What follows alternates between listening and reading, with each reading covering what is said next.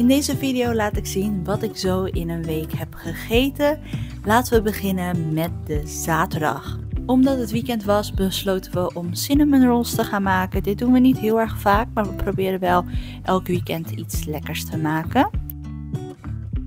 Ik weet niet wat het is, maar de laatste tijd heb ik echt cravings naar chocola. Dus ik had zin in een KitKat. Voor lunch maakte ik een wrap met uh, kruidenboter, sla en zalm. Dit was vroeger echt mijn go-to snack en lunch. Dus ik ben het weer uh, aan het herontdekken. Voor avondeten stond er ook iets met zalm op de planning. Namelijk zalm uit de oven met waffle fries en bimi. Volgens mij heet het zo. Het lijkt op broccoli. Maar ik wist nog niet van die naam af. Maar het is wel heel erg lekker. En de zalm had ik gemarineerd met zout, peper, dille en een beetje citroen. Dit is zo makkelijk om te maken en het smaakt zo lekker. En ik ben helemaal obsessief met gerechten die eigenlijk binnen no time klaar zijn. Of waar je heel weinig moeite voor hoeft te doen. De zondag begonnen we met banana pancakes. Ik vind dit zo lekker en het is zo simpel om te maken. De enige ingrediënten die ik hiervoor gebruik zijn twee bananen, twee eieren en een beetje havermout. Het ligt eraan hoeveel trek je hebt, maar het is prima voor twee personen. Als tussendoortje had ik nog een koekje. En in de middag gingen we naar de Starbucks. Daar gingen we een soort van lunchen. We hadden een puppuccino voor Milo. Ik had een mokka wacht, een white mocha en een blueberry muffin. We gingen toen door naar mijn ouders en daar had ik een snack, namelijk Pringles. Dit eet ik niet vaak, maar ik merk wel dat het echt mijn guilty pleasure is. Onderweg naar huis gingen we nog even langs Fudo. Daar hadden we wat kippies gehaald voor onderweg. En eenmaal thuis hadden we de Fudo rollen of de sushi rollen opgegeten. Ik had er een met zalm en tempura en dit was echt genieten. Maandag begon ik de ochtend met havermout. Ik eet mijn havermout met melk, appel, kaneel en honing. En vaak neem ik gewoon een kleine hoeveelheid, want op een gegeven moment ben ik gewoon klaar met de smaak. Maar 9 van de 10 keer vind ik het wel heel erg lekker. En ik eet dit voornamelijk in het najaar. Als snack had ik op werk een cappuccino en twee croissants met een klein beetje zalm. Wanneer ik op werk ben, wordt er altijd lunch geserveerd. En vandaag hadden we falafel. En ik had later op de dag nog trek. Dus ik had van tevoren nog een zalmwrap gemaakt. En die had ik op werk nog eventjes opgegeten. Voor avondeten stond er pasta op het menu met broccoli. En het is misschien een beetje een gekke combinatie, maar ik vind het wel heel erg lekker. Ik had dus pasta pesto gemaakt met vissticks. Of nou ja, wij hadden het gemaakt, we gingen samen koken. En gek genoeg vind ik dit echt een hele chille combinatie.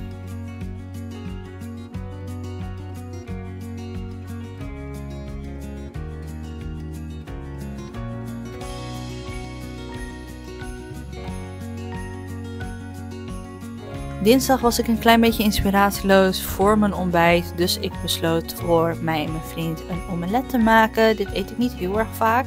Vaak is dit iets wat ik in de middag eet in plaats van de ochtend. Maar vond het wel eens uh, lekker voor de afwisseling.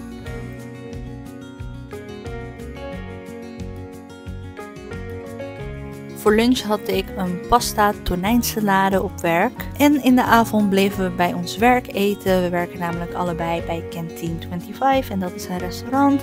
En we gingen even het nieuwe menu uitproberen. Op de woensdag had ik niet zoveel trek en zin in een ontbijtje, dus ik had alleen een matcha latte. Maar op werk had ik nog wel een koffietje en een croissant. Want uh, dat is wel een voordeel van bij een restaurant werken. Je kan af en toe wat eten halen. Voor lunch had ik lasagne met een klein beetje sla. En op de woensdag werk ik een halve dag, dus ik was in de middag weer thuis. En als snack had ik een appelflap. En ik had iets nieuws gekocht wat ik wilde uitproberen. Het is namelijk proteïne chocomel. En ik wilde in plaats van normale melk chocomel in mijn koffie doen. Dus uh, ja, het was het proberen waard. Laten we het daarop houden. Het smaakt op zich ook prima. Voor avondeten maakte mijn vriend tomatensoep klaar. Hij ging even de chef uithangen. En ik ga altijd goed op tomatensoep. Ik vind het zo lekker en helemaal als het buiten heel erg koud is. Ja, dit is wel echt mijn guilty pleasure. En daarbij hadden we nog een tosti om in de soep te dippen. Donderdag had ik niet zoveel zin in ontbijt, maar ik wilde toch wel iets eten. Dus ik had toast gemaakt met een klein beetje boter. En voor lunch had ik de leftovers van de soep opgegeten. En voor avondeten deden we heel makkelijk. We gingen burgers met patat bestellen. Vrijdag begon ik de ochtend met krakots, chocopasta en aardbeien. Dit vind ik een heerlijke combinatie. En als snack, kan je dit een snack noemen? Ik weet het niet. Uh, had ik een kopje koffie gemaakt, want ik werkte vandaag thuis. Voor lunch had ik zin in bagels, dus ik maakte een bagel klaar met avocado, seasoning en zalm. En deze seasoning heeft een vriendinnetje voor me meegenomen uit Amerika. En ik moet zeggen dat deze seasoning een hele goede combinatie is met avocado, maar ook met cream cheese. Dat zijn denk ik mijn twee favoriete combinaties. Later op de dag had ik nog een kleine trek, dus ik nam een Twix als een snack.